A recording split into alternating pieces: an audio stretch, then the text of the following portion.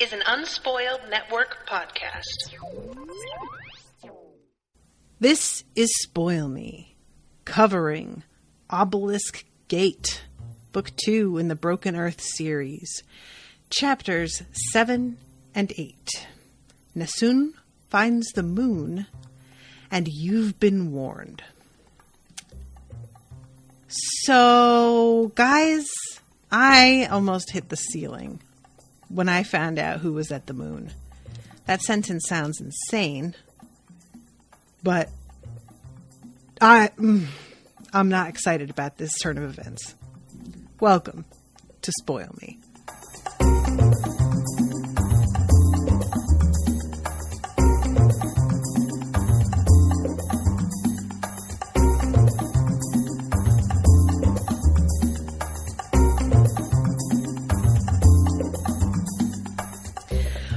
Welcome to the show, everybody. I am Natasha. Denise is here in the chat. Hi, Denise. Um, Denise is the one who commissioned this, so thank you very much to Denise for that. And thank you for being flexible because I had a little thing happen this morning and lost a bunch of my reading time. And uh, I had to push this episode back. It was meant to happen this morning. So um, thank you, Denise, for being understanding about that. It's a, not a great morning. Hopefully, the rest of the day picks up. Um, but yeah, this section, man I, w- I did go back and review some of the previous section um, just to refresh myself on exactly what was going on. Felt myself getting heartbroken all over again at what goes on between Nassun and her father.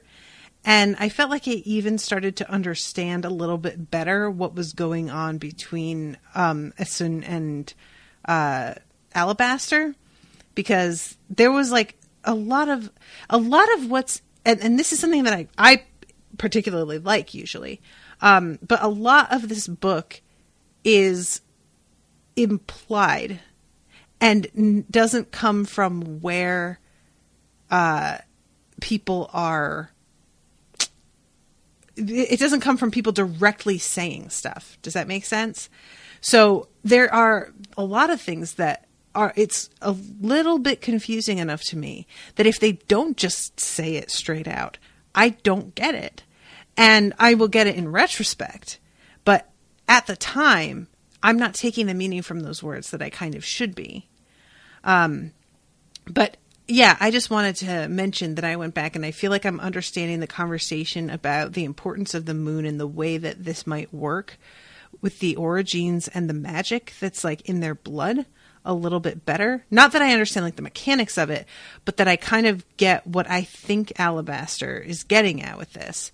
Um, and there's also like, so he is there, there's also this moment between um, her and his guardian as well because the guardian is fucking eating him. It's just after everything that went on with the boil bugs and whatnot um, it just really unhinges me to know that apparently every time he does something he is going to have this react like he's he's decaying or something. It's it is really freaking me out. Um, it's not until you're halfway down the infirmary's long central aisle that you consciously notice the sound you've been hearing all along. A kind of hum. It seems monotonous at first, but as you concentrate on it, you detect multiple tones, harmonies, a subtle rhythm. Music? Music so alien, so difficult to parse that you're not sure what word really applies. You can't figure out where it's coming from at first. Alabaster is still where you saw him that morning on a pile of cushions and blankets on the fo- on the floor. No telling why Lerna hasn't put him on a cot. Um, the music is coming from the stone eater, you realize in wonder. Antimony sits cross legged near Alabaster's nest, utterly still, looking as though someone bothered to sculpt a woman sitting cross legged with one hand upraised. Um, you realize he's leaning back against Antimony's hand. There are no patches of stone on his chest or belly, and only a few small burns around his shoulders, most of those healed, but his torso is nearly skeletal. Um, so yeah, this description of his body, like when she has that talk with Lerna about whether she could have fixed the problem with the boil bugs right away, he says something about how obvious it is that Alabaster's the one who did this because he sustained burns consistent with like high heat and poison gas. So people are going to start catching on, which that didn't even occur to me. Him, he himself sustaining damage because of what he did. But damn. Um, so the the uh, you took him from us and we couldn't do it alone. Uh, I couldn't do it alone. If Alabaster had been he- there, I hated you. Afterward, while I was wandering, I vowed to find a way to kill you, put you in an obelisk like that other one, bury you in the ocean, far enough out that no one will ever dig you up. You can't even read the catch of her breath because she doesn't breathe. This really is pointless. Um, so yeah, this moment is just like it's one of those things that you're like glad that she's getting out what she feels, but at the same time it's so unsatisfying because it provokes no reaction really, except for the woman like stopping the singing. Um but yeah, I just this is what I feel like the sort of theme of this book is is dissatisfaction with the result of finally coming to terms with things. Like I feel like that's just so much of what happens here and that's not a criticism at all. Don't take it that way. This is just me being really touched at the trueness of that, you know. Um so anyway, then she has the conversation with Alabaster about how she was able to maintain uh or how she was able to improve and it being from raising children, all of this stuff. This is, you know, but I just wanted to touch on that because it struck me this time around. Um and then when we get to Nassun finds the moon, y'all, all right. So when we start off, I don't think I really thought through how much time has actually passed since Nassun's story comes to us. Because going to what happened in Tirimu or Tirumu, I don't remember, but they like we have gone back in time what at that point like six months. I feel like as soon there was a part that I read where she had clearly been on the road for way longer than I realized. That it just took so much longer to move on out of here than I even knew. Um, and to get to, you know, so like it turns out at one point that she's been traveling like a year and I don't know if we are at a year with Essun or if Nassun has jumped ahead of Essun in the story timeline at this point. Um, but yeah, we get a little reference to the fact that um, Ykka is sending out that summons to all orogenes still. But by the time that Ykka starts to transmit them, um, Nassun has moved far enough out from it that she doesn't actually feel the pull. She gets a little bit of it in her dreams, but she doesn't wake up and like feel compelled to go in that direction. Um, when they do have to stop at comms, some are only in lockdown and haven't yet declared seasonal law, hoping the worst of it won't come so far south, probably. It's rare for seasons to affect the whole continent at once, Nassun never speaks of what she is to strangers, but if she could, she would tell them that there is nowhere to hide from this season. Some parts of the stillness will suffer the full effect later than others, but eventually it will be bad everywhere. Some of the comms they stop at invite them to stay. Jija is older, but hale and strong, and his knapping skills and resistance use cast make him valuable. Nassun's young enough to be trained in nearly any needed skill, and she's visibly healthy and tall for her age, already showing signs of growing into her mother's strong mid-ladder frame. There are few places they stop, strong comms with deep stores and friendly people, where she wishes she could stay. Jija always refuses, though. He's got some destination in mind. So this is crazy to me because Jija is clearly at this point already thinking about the moon. And I want to know how in the fuck the moon is a totally unfamiliar word to people like Essun or uh what's her name? The one that she's like traveled with with the uh, dreadlocked hair. But they don't like this doesn't ring any bells. And yet Jija knows about it. How is that possible?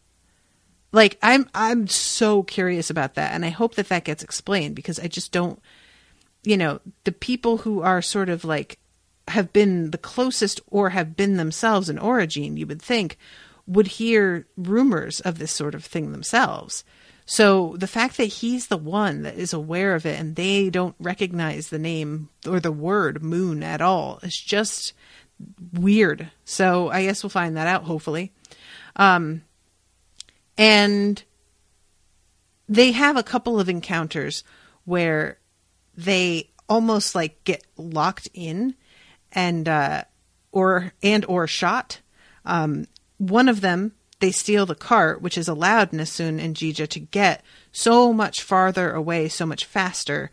Not only because of the cart itself, but because they're able to barter with people using transportation on the cart as leverage that they don't have to like stop and forage for supplies and stuff. They're able to get a lot of what they need just by people coming up to them and needing a ride somewhere. So that saves them a lot of time as well. Um, and at another com whose people don't even bother to warn them before aiming crossbows, it is Nassun who saves them. She does this by wrapping her arms around her father and setting her teeth in the earth and dragging every iota of life and heat and movement out of the whole com until it is a gleaming frosted confection of ice slivered slate walls and still solid bodies. She will never do this again, the way Jija looks at her afterward. Yo. Like, that's so badass. And also, again, brokenhearted. Just like, ouch, guys. This is hard. Um, and I'm just going to finish this next bit and then, like, tell you what I was thinking when I read this. They st- they stay in the dead calm for a few days, resting in empty houses and replenishing their supplies. No one bothers this calm while they are there, because Nassun keeps the walls iced as a clear danger here, worn off. They cannot stay long, of course. Eventually, other comms in the area will band together and come to kill the rogga, whom they will assume threatens them all. A few days of warm water and fresh food. Jija cooks one of the com's frozen chickens for a real treat, and they move on. Before the bodies thaw and start stinking, see. So, this is such matter of fact language for something that is so nuts if you really think about it. And this is my specialty is I extrapolate and theorize about what ifs as I'm reading a thing or watching something. This is why my questions about Doctor Who aren't about the monsters or different places you could go or timelines or planets. My questions are where do they sleep on the TARDIS though? Is there a shower? Like baths? Do we get like you know, where's our food supply coming from? Do you stop and that's like you just travel in this and then you sleep somewhere else? Like, I don't know. But that's the stuff that comes to my mind when I'm asking questions about stuff. And this, when I thought about what it would look like cinematically for her to freeze this whole com like she does, and then go in and try and live there for a day or two. It is simultaneously so horrifying and also kind of hilarious because like think about it. There's they're trying they're pulling their crossbows back. One of them may even have like launched one off. She freezes everything up and that arrow probably is like mid-flight and gets coated in ice and then just falls straight down very anticlimactic and then they go inside and they have to like push through a frozen gate. They have to step around people and go into someone's home and pick them up off of their kitchen chair and put them somewhere. Or just like everything they have to do, they've got to grab a thing and unstick it because it's frozen.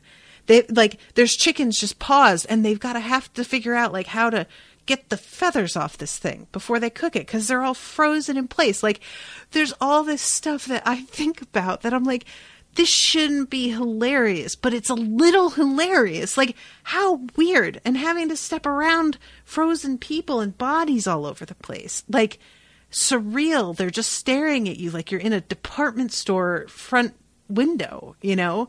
Just, my, my, my mind works in, in ways that are very distracting at times. It can be fun, but I can also be just as irritated with it as people who listen to my show and get mad at tangents. My brain tangents like nuts. Um, and so it goes bandits and scammers, and a near fatal gas waft, and a tree that fires wooden spikes when warm bodies are in proximity. Hi, what? We're just going to drop that in there? Excuse me? That's just said as a, you know, oh, bandits and what, and then a spike, a tree that shoots spikes out. No, no, no. You don't put that in the same sentence with semicolons and shit to act like that's just a normal part of the sentence that you just said.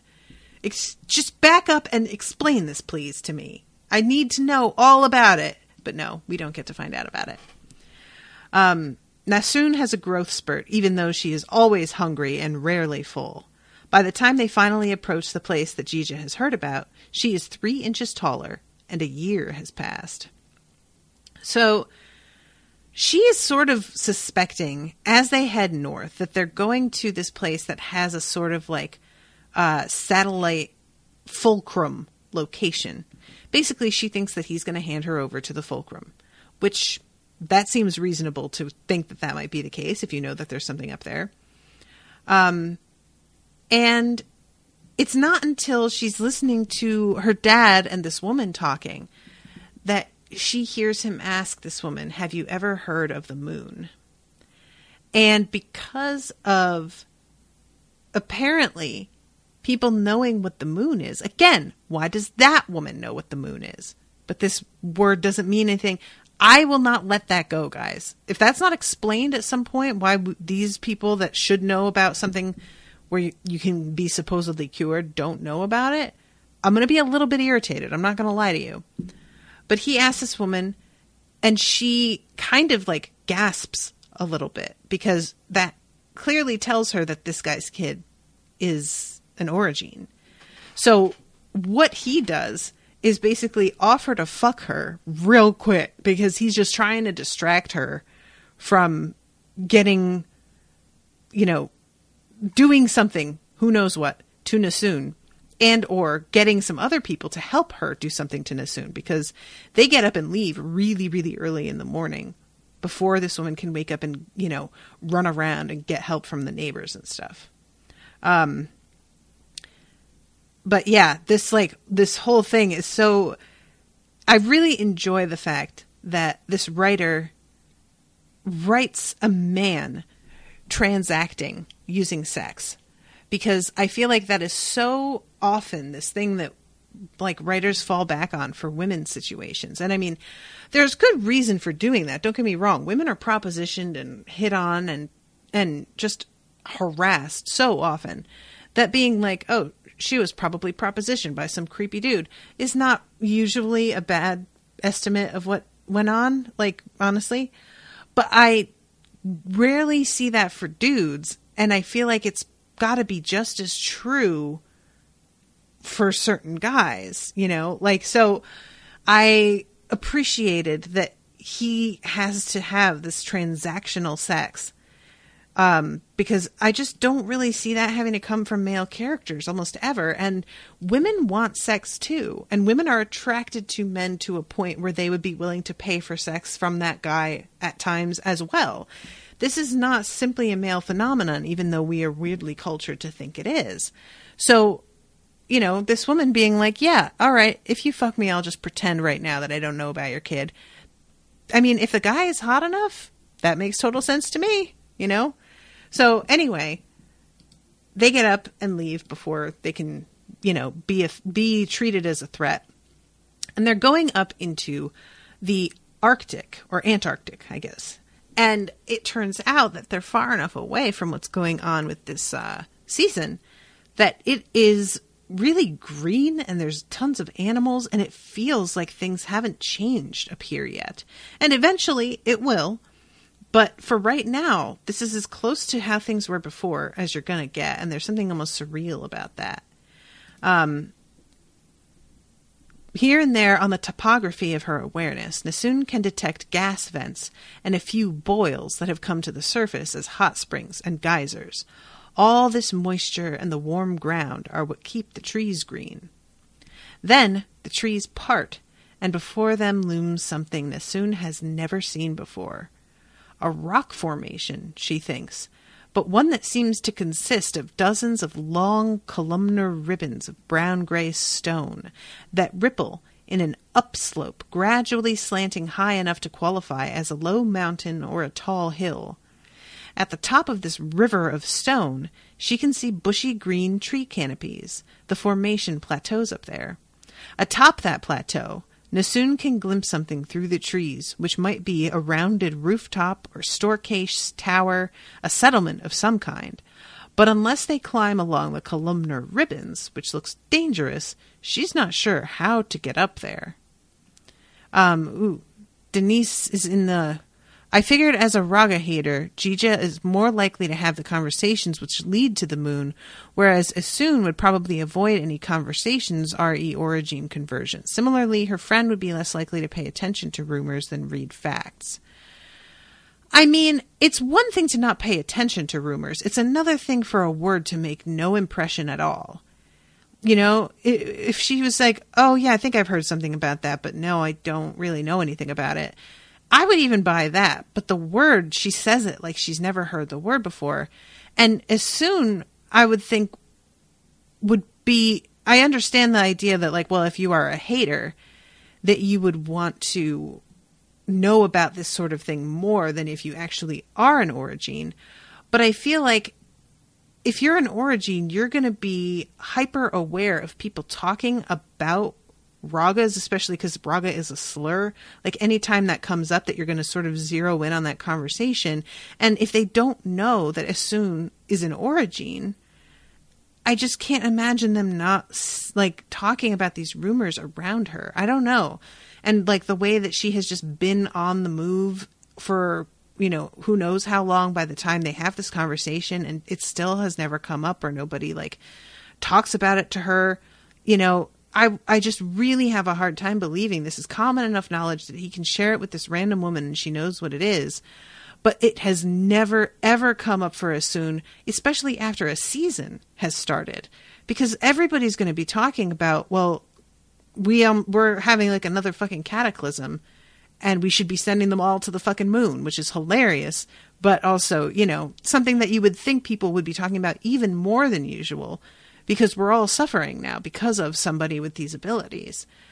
I don't know. It just doesn't ring true to me, but whatever, it's fine.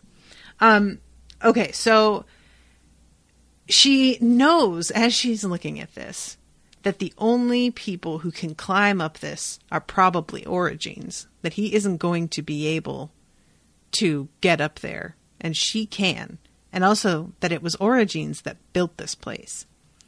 And there's something about this moment of her watching every every infinitesimal movement that he makes that is so fucking familiar to me. Like there is something about my childhood that carries all the markers of having been with somebody who was like physically abusive and yet I wasn't and I really I've been trying to like nail down where that comes from, but I had this sort of thing where I would watch for every reaction because I was afraid to set people off. And I don't know where that fear came from, but I knew that it was a possibility.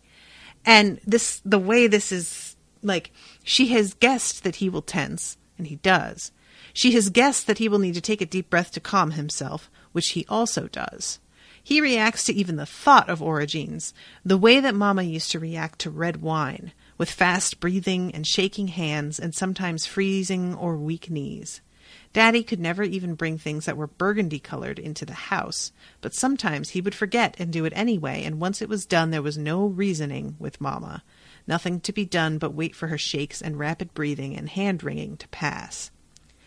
Hand rubbing. Nassun did not notice the distinction, but Essun was rubbing one hand, the old ache there in the bones. Yeah, so just the color of burgundy basically gives her a PTSD induced panic attack, which that feels true. That feels like it makes sense. These are people who not only ruled over her during one of the like darker periods in her life and treated her like she was some sort of animal, but then track her the fuck down when she's finally happy and kill her child or force her to kill her child. Same thing. Yeah, that tracks. Um, so he says, her father says, there should be others like you there. And he's, and he says, it's better than the fulcrum. They can cure you. That's what the stories say. And she's about to be like, cure me of what? And then she realizes and is like, oh my God, I'm such a dummy. And she asks how, because she knows that acting displeased with this idea is going to push her dad over the edge. She's so stunned that she forgets to watch her father for a moment. When she remembers, she shivers because he has been watching her. He nods in satisfaction at the look on her face, though. Her surprise is what he wanted to see. That, or maybe wonder or pleasure. He would have reacted poorly to dislike or fear.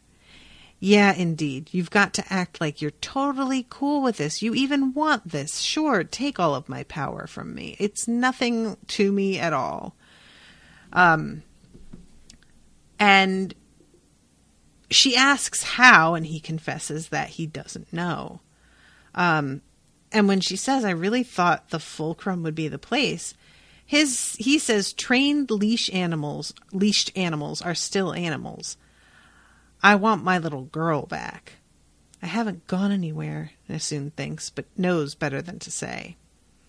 So, yeah, this is him, you know, if, if, even if she can control what she is, she is still something else.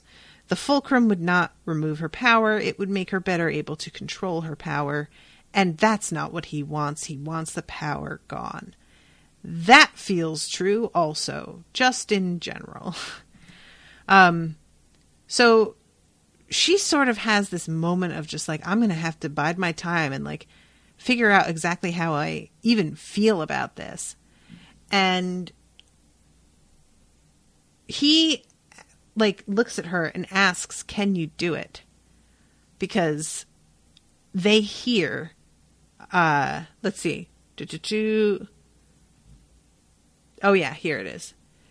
Doubtless the members of the Com know some secret way to get up the plateau, but without this knowledge, Nassun and Jija are left with a puzzle to solve. Can you do it? She stands up. He stumbles back as if startled, then stops and glowers at her. She just stands there, letting him see how much it hurts her that he fears her so.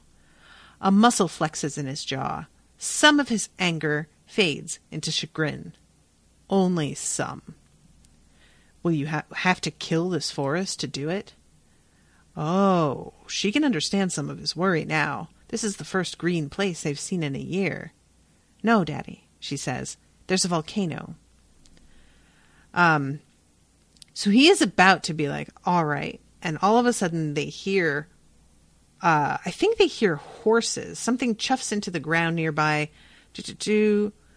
I'm not sure if they're on horseback. I sort of pictured them that way, but I guess they're like in pretty deep woods. So they're probably not. They're probably on foot. But um this fucking like harpoon basically goes through his calf. It's huge, two inches in circumference, and like goes into the ground behind him so hard that it basically pins him in place. Um, and she can hear people talking amongst themselves with some language that she has never heard before. And as she is standing there and she's like deciding because she wants so badly to not kill these people in front of her dad and make him give like he just has so much reason to fear her. And even though I'm sure if you talk to her, she would realize that it doesn't really make any difference at this point. It still does make a difference though. Like, you know, so she's very, very reticent to do this. And she is, as it says, torn between survival and daughterhood. Then someone leaps down the lava flow ridge, bouncing from one ribbon of rock to the other with a speed and agility that is. Nassun stares. No one can do that. But the man lands in a crouch amid the gravelly soil at the foot of the ridges with a heavy, ominous thud. He's solidly built. She can tell he's big even though he stays low as he half rises and draws a long, wicked glass knife. And yet somehow the weight of his landing on the ground does not reverberate on her senses. What does that mean? And there is. She shakes her head, thinking maybe it's an insect, but the odd buzzing is a sensation, not a sound. Then the man is off, running straight into the brush, his feet pushing against the ground with such force that clods of dirt kick up in his wake. So this guy basically does like a fucking. he's basically like Quicksilver right here and just goes up to all of these bandits and kills them in seconds. Like it's just. He's stabbing people and then on to the next person before the first person even hits the ground. Uh, it's, you know, and I'm thinking to myself, this sounds like something. Like, I hadn't even quite formulated the thought, is this a guardian in my head by this point? It hadn't even come to that. It was just my vague, like, memories of what they're like subconsciously coming to the surface. And i'm just like oh no. Um so as this guy is attacking these bandits and she realizes that he is sort of on her side she bends down and she does this thing with the harpoon in her dad's leg because she's thinking that maybe she can yank it out and the chain that's attached to it like there's no moving that without really fucking up his leg even more it's just a it's super bad um, and she thinks to herself, metal breaks if it's cold enough, doesn't it? Could she maybe with a high, narrow torus? She's never done this before. If she does it wrong, she'll freeze off his leg.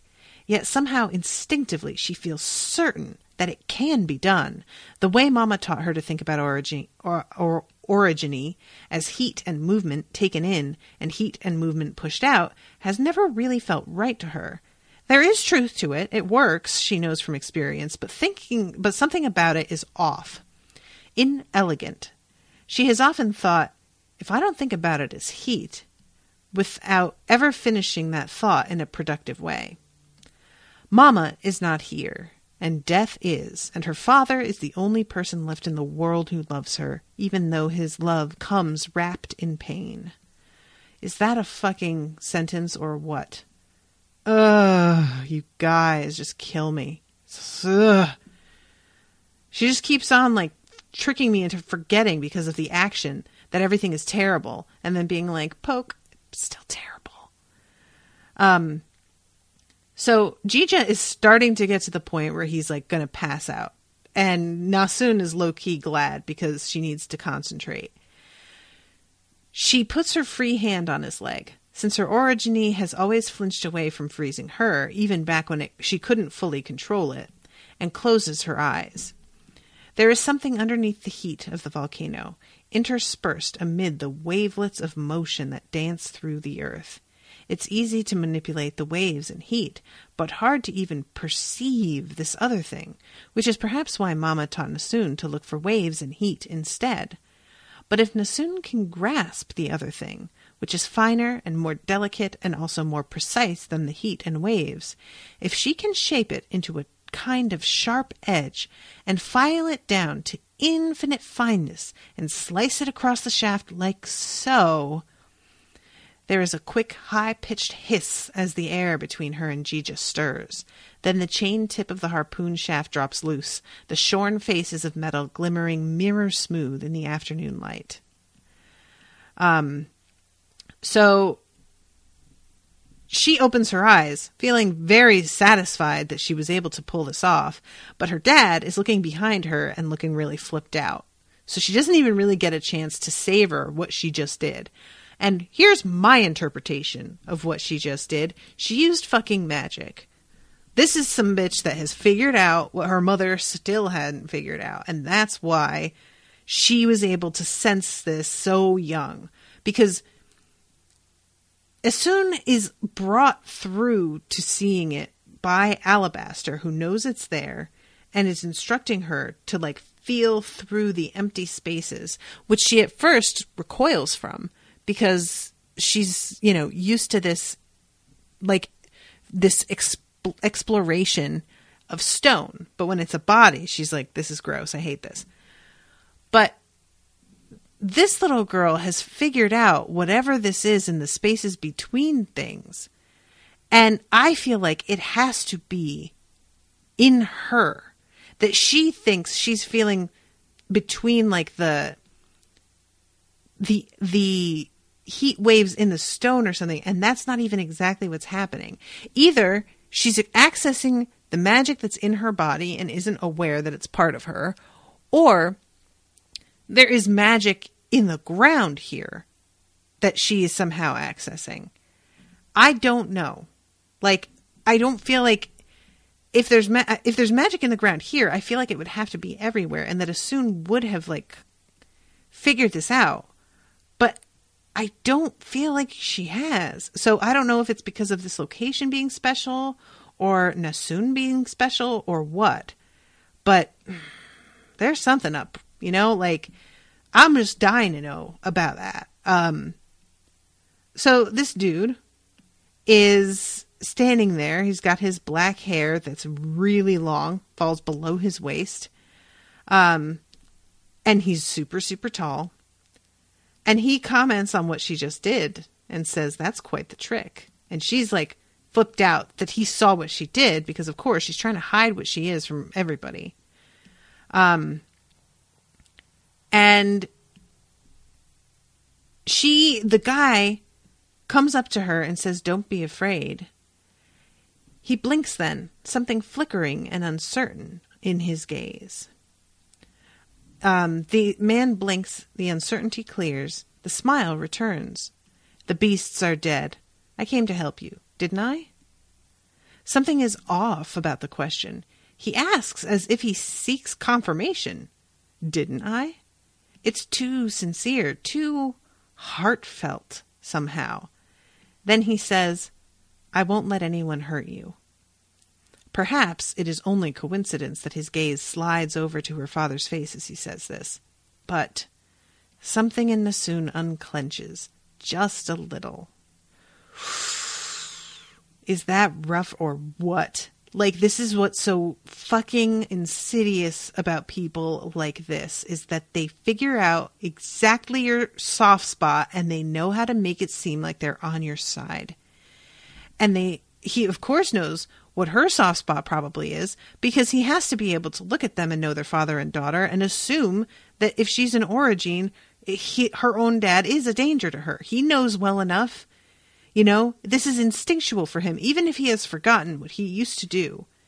He, it, this is some built-in fucking software that he's working with, and he senses that she is at like in a vulnerable position with somebody whom she simultaneously loves and fears, and he just laser like goes right in for that.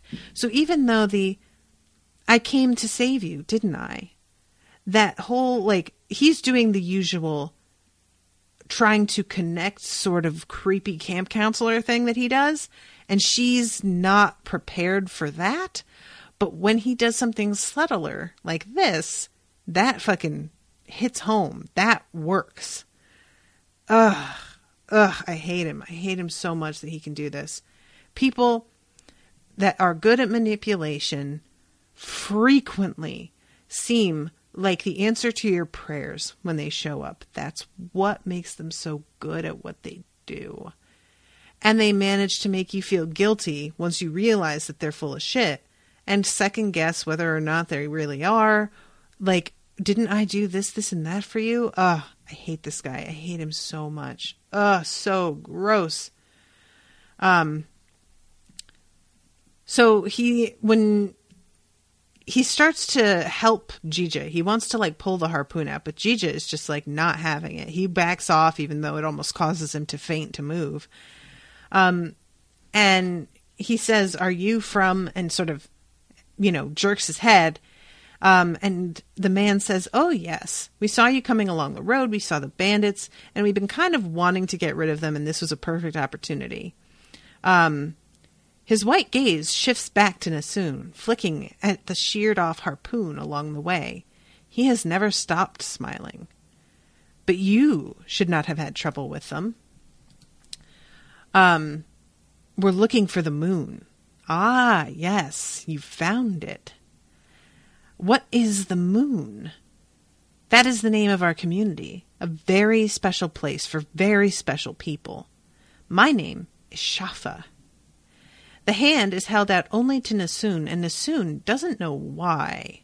Maybe he knows what she is. Maybe because. Maybe only because her hand isn't covered with blood. She swallows and takes the hand, which immediately and firmly closes around hers. Guys, did anybody else's heart stop for just a second right there? Like, I got real scared that he was just going to break her fucking hand. She manages, I'm Nassun. That's my father. She lifts her chin. Nassun resistant to Remo. Nassun knows that her mother was trained by the fulcrum, which means that Mama's use name was never resistant, and Nassun is only ten years old, too young for Tirimo to recognize with a calm name, even if she still lived there. Yet the man inclines his head gravely, as if it is not a lie. Come then, he says, let's see if between the two of us we can't get your father free. Um, he rises, pulling her with him. Before she can open her mouth to say anything, he presses two fingers to the back of her neck. She flinches and rounds on him, instantly defensive, and he raises both hands, wagging the fingers to show that he's still unharm- unarmed. She can feel a bit of damp on her neck, probably a smear of blood. Duty first, he says. What? I can lift him while you shift the leg.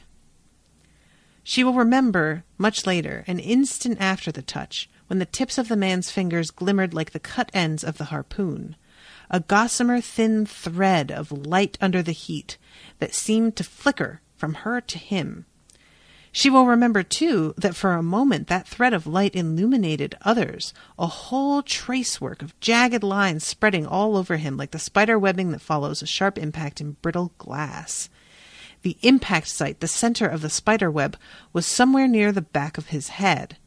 Nassun will remember thinking in that instant, He's not alone in there. In the moment, it is no matter. Their journey has ended. Nassun is, apparently, home. And this ends with The Guardians do not speak of warrant where they are made. No one knows its location. When asked, they only smile from Lorist's Tale, Untitled 759, recorded in Charta Courtant, Edencom, by itinerant Mel Lorist Stone. All right, guys, let's fucking back this shit up here. First of all, this is fucking Schaffa. My name is Schaffa. When he said that shit, I mean, I had, I, of course, had an inkling that's who this was. But when he just says it and he's still like, I don't know why that fucked me up so bad. The fact that he says it because he doesn't re like he's looking at her and it's like he can sense something about her reminding him of Syenite. It's like he he can tell. I don't know how he can tell, but he can tell something, but not enough to really put her in danger at this point. And I really want to know what that's about because this whole thing has already been super weird with the guardians like touching Orogenes at the back of the neck and sort of absorbing a kind of like power through them. Power doesn't even feel like strong enough a word. it feels narcotic to me. Like they're getting a hit of a drug, you know? Um that has already been super strange. Like I'm not totally sure what that's about, but when I look at a strangeness meter, that felt like it was really close to the top and bothered me already. But to add that there's like a dampness to her neck that I don't feel like Syenite ever mentioned when we were in her chapters. I feel like something has happened to the way that he takes this energy to make it more dangerous for the people he's taking from. I don't know if there was blood and I just didn't remember that or it wasn't mentioned by her or if she didn't, but whatever the case, it feels like this did Nassun harm in a way that it didn't do others harm. And also the filament that is is going from his fingers to the back of her neck. Syenite has never mentioned that either, which is part of what makes me worried. And the filament seems to illuminate this like traces of, of brokenness in him. Which is that true of all guardians? Are all guardians broken like this? Or did this simply happen to him because of what he went through on the ship? I tend to think the latter, that maybe that's part of what's harming her is that he's broken and he's trying to like drain from her with a system that isn't actually like you know? Um denise says in the first book young Essun yeah Syenite Syenite is Essun right? I'm just calling her Syenite because that's what she was called at the fulcrum. So i'm pretty sure that was what he was calling her um Schaffa was calling her but like I just don't know ah I don't know what to make of this. And like a lot of this um uh, Schaffa does something to young Essun, which he says helps him find her. I don't remember if it was if there was blood. Yeah, I don't either. And I'm not like sure if I'm supposed to remember or not. You know, I don't want anybody to like feel like they need to go through it and tell me if it's going to sort of like be important for me to put this together myself. Um, I don't remember her first name. She started with a D. Oh yeah, Dayama or Diana, something like that. Um, Dam Damayasa. Um, yeah, you're right. So she wasn't Syenite until she was at the fulcrum. I'm thinking about him calling her that once he's like tracked her down later. Um, but yeah, so and and and what like because obviously so much of this book is meant to be a sort of an allegory for the way that black people are treated in the world. People of color in general but i feel like this is pretty specific to black people. And i had been thinking about it the other day um, about who the guardians are and in this equation. Because there are all of the other ordinary people. And they are already not here for fucking orogenes, right? Like they're scared of them. They turn them out of their houses if it turn even if it's one of their own children. Like these are not people who are friendly. But it's right out on the table. You know what it is. What is the deal with somebody like a guardian who it's so much, like I said, more insidious. And I have to say, and I might get some flack for this, but I have to say, in general, we've got the world, and that includes white people in general. But the Guardians to me represent white liberals in my head. Because white people like to think that if they are liberal, they do not pose their own kind of threat against black people. And they genuinely think when they are condescending and talk about how divisive black people are being when they do whatever it is they do to protect themselves, they genuinely seem to think that they are helping and things wouldn't be bad for you if you would just listen to me and follow these rules. I'm here to help you. I just, I care about you when nobody else does. We want you to succeed if you'll just do these things that we tell you that undermine everything about who you are and your independence as a person and your individuality and power.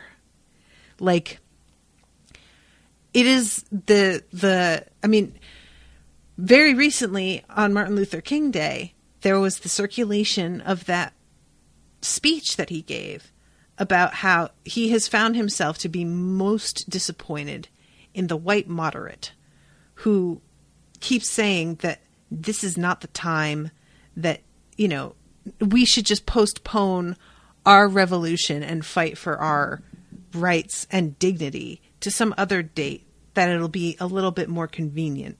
But claiming like the world isn't ready for you, I am, I get it. But you really, I, I just don't think everyone is. And maybe just, you know, I, uh, just don't be so aggressive about it. Like, can you just, don't yell, you know, don't like maybe damage property or hold me up on my way to work by protesting in the middle of the freeway. Just be like, you know, like don't inconvenience all of us for this. I there because sh- the, the whole thing about Schaffa with him being like apparently really friendly, but there being this like possessiveness and this creepiness underneath it. And the fact that he's like feeding off them it's just all feels so symbolically like it lines up to me. You know, like like I mean, it's just a well-known fact that white folks have stolen a ton of intellectual property as well as actual property from black people stolen the ideas for you know different movements even today we have like white women stealing hashtags for the Me Too movement when it was a black woman who came up with that, but this one white woman just gets all of the credit for it. And the it's like liberals can be some of the worst about that because it's all wrapped up in but we're just trying to help I mean, yeah, okay, you didn't come up with it, but does it matter who came up with it really? Or does it just, just the concept of it really matter? Maybe we should just focus on what's important here and not focus on you feeling like you've been hurt because I stole this from you. And again, just undermining in this way that if you are less secure in believing yourself worthy, you will fall for that and they have fallen for their own bullshit, you know? So there's something about this whole like vibe that just feels so much scarier to me because when you're out in the comms and you're on your own, you at least know everybody's going to be hostile to you and you absolutely have to hide who you are. This is somebody who tricks you into thinking they are safe you don't have your guard up the same way, even though you should. And not because you don't think you should have your guard up. It's because you're so tired of always having to have your guard up that even though you're hearing that voice in your head going, nah, something isn't right about this, another part of you that is exhausted just wants so badly to be safe with this person that you do let your guard down despite your better judgment and lo and behold, they are sucking the luck, the life out of you when you're not even aware it's happening. Like, this is some shit, y'all. Like, seriously. And I may come to the end of this book and realize that I had this totally wrong. That, like, my little assertion and hypothesis about the symbolism here is not what the author intended in any way. But as of right now, like and, and when the thought of he is not alone in there that's the other thing that i'm just like what this is that doesn't play into my hypothesis at all. That's just sort of like, what does that mean? Another moment of me going, ooh. So I don't have a place to put that, you know, that thought. I just don't really know how this all fits together. And if there is somebody else in there, what does that even mean? Are all of the guardians just like sort of projections, like puppets or robots or something that literally take actual power, like literal, almost like a jolt of electricity to juice up their batteries? Like, he moves so quickly and in such a way that he does not even seem human. Like it's not humanly possible to do what he does. So I just have to think there is something that's like built and assembled about him.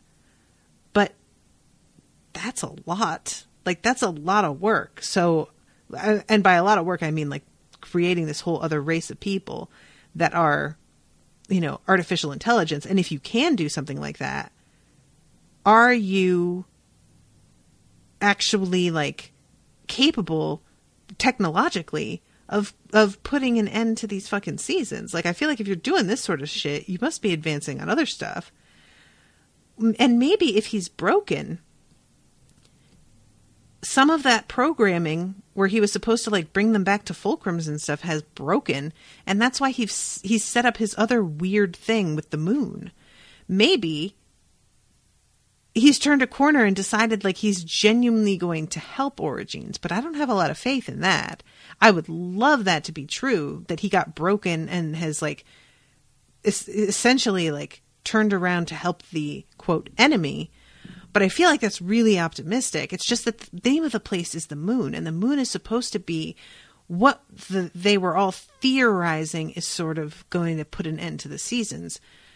So that makes me feel like he wants to help because the orogenes are the ones that are going as far as I have sort of like theorized, the orogenes will be doing something to create a moon, which could involve just breaking a huge fucking chunk off the earth. That's what the moon was.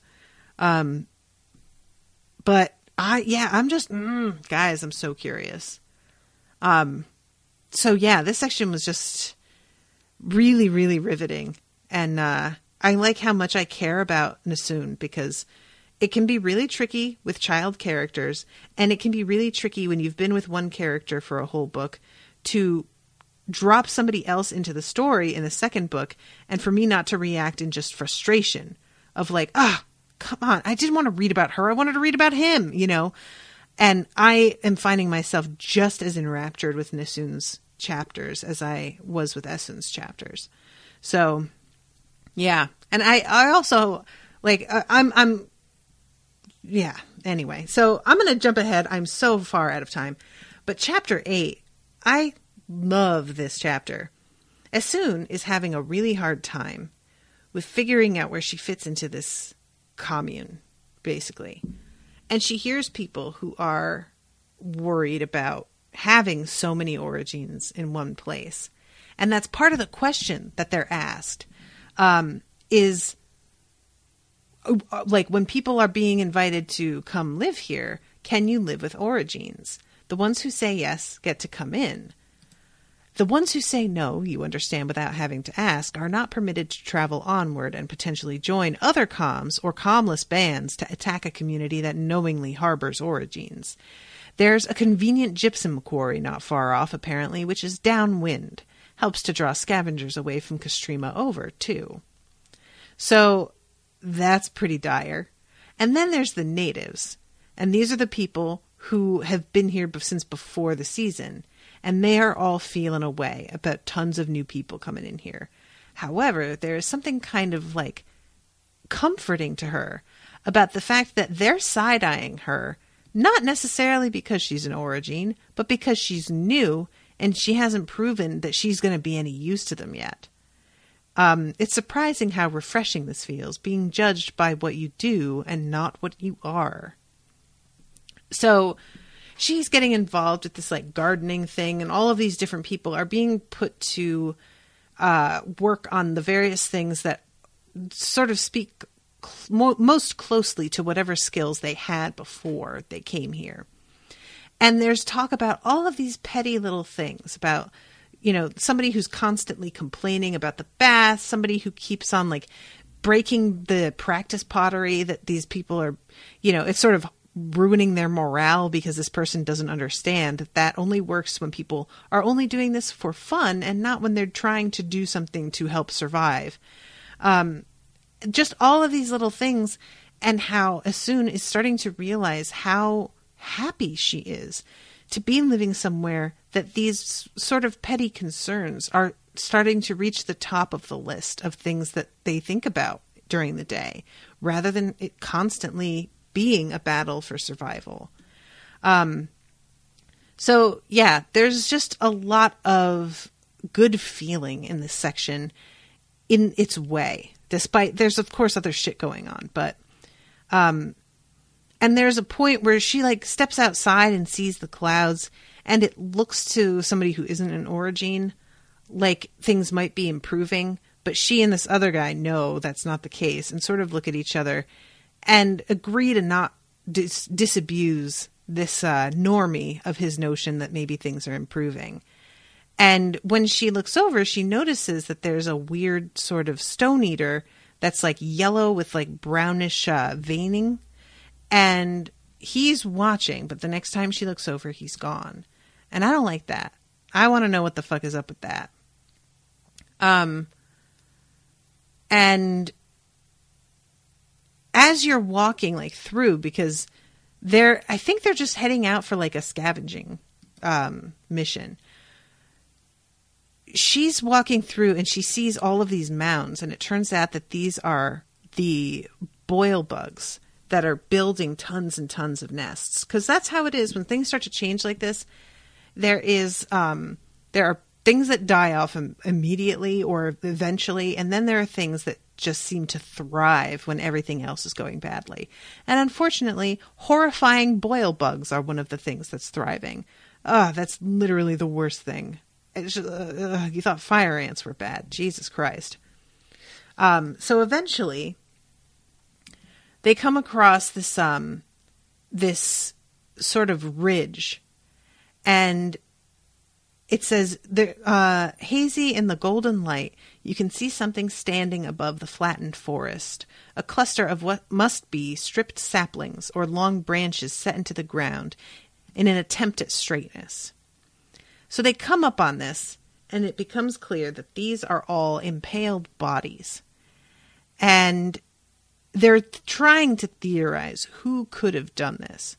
Um, and like all of their patrols are accounted for. So this is not something like an attack on any of their own people. Um, and as far as like somebody who's like a traveler doing this, because that's what Essun theorizes, um, Cutter steps in and is like, dude, travelers travel doing something like this takes a lot of time. You'd have to like cut down trees and whittle them down and dig hole like nobody who's just traveling is going to do something like this. Um so who do you think it is then? Another commless band? They wouldn't either. At this point they're not wasting bodies anymore. You wince and see several other people in the group sigh or shift, but it's true. There are still animals to hunt, but the ones that aren't hibernating are fierce enough or armored enough or toxic enough to be costly prey for anything but very well prepared hunters. Um, if Castrima doesn't find a new source of meat soon, you and the others won't be wasting bodies anymore either. That wince served many purposes. Um, so they come to the conclusion that somebody is marking territory. Uh, and one of the hunters is like the only com in that direction is Tetahi, and they're friendly. They have never given us any shit. Um, the river goes away to the north. That bothers you, and you don't know why. There's no reason to mention this to the others, but still. When's the last time you heard from this Tetahi? We need to send someone.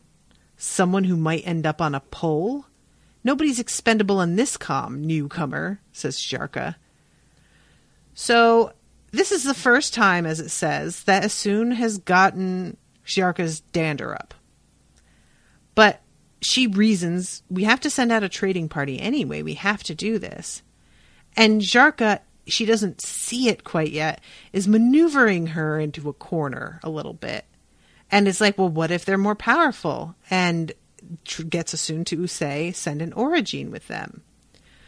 Who'll kill half our people trying to defend them? So what does Essun do but does this beautiful demonstration of exactly how precise her power can be and how she would never, you know, if somebody has the skill, they're not going to let anything happen to anybody else when they attack an enemy. And um, like the whole thing, a moment later, everyone feels the faint judder of the ridge you're standing on because you've let a little of the aftershake come this way. Again, you didn't have to. You just had a point to make. It's commendable that Ykka just looks impressed and not alarmed when you open your, your eyes and turn to her. Nice, so you can ice someone without killing everyone around you, but if every rogga could do that, people wouldn't have a problem with roggas. So she doesn't see it still. And she just winds up being like, oh, fuck this is how Ykka gets her to agree to teach other orogenes. I keep wanting to say roggas, but because it's a slur in the books, I also don't want to be saying it.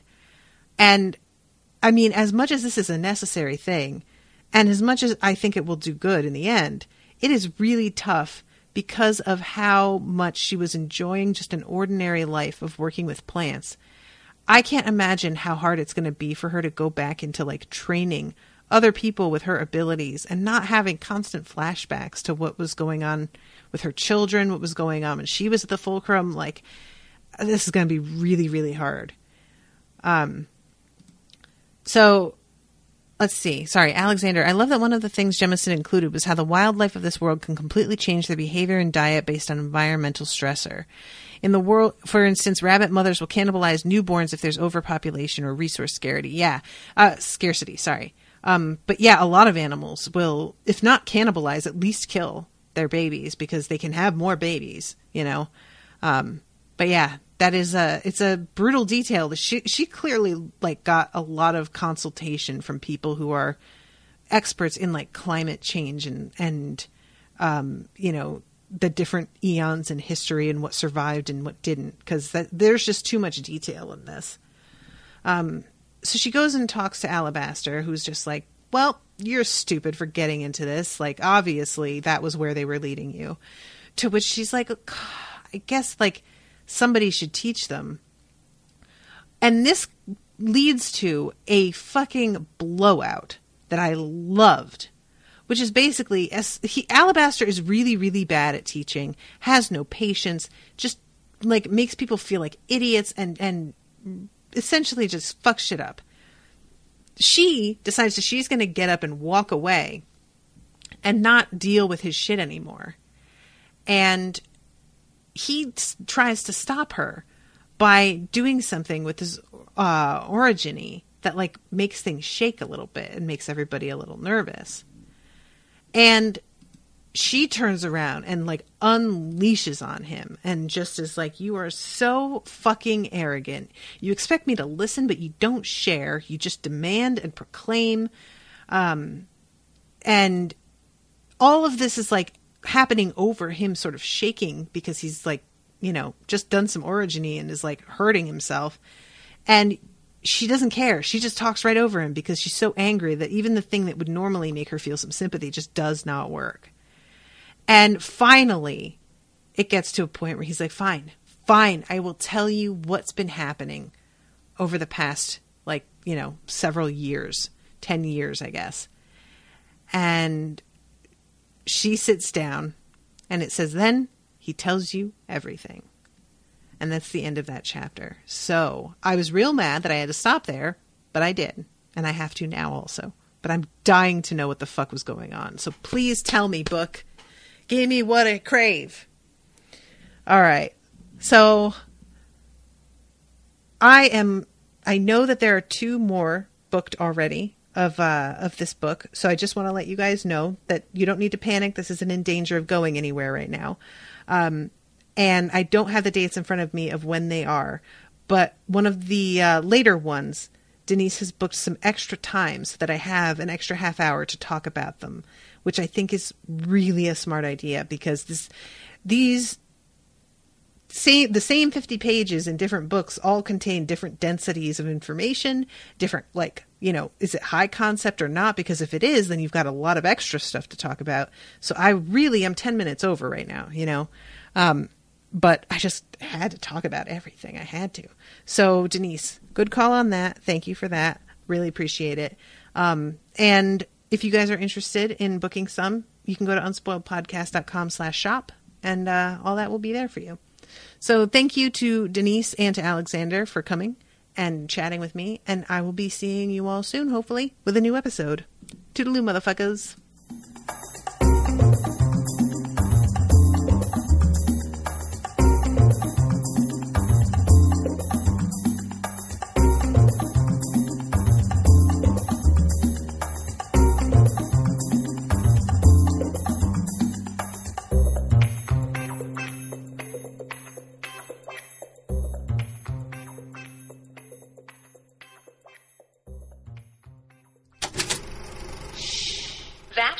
Unspoiled Network podcast.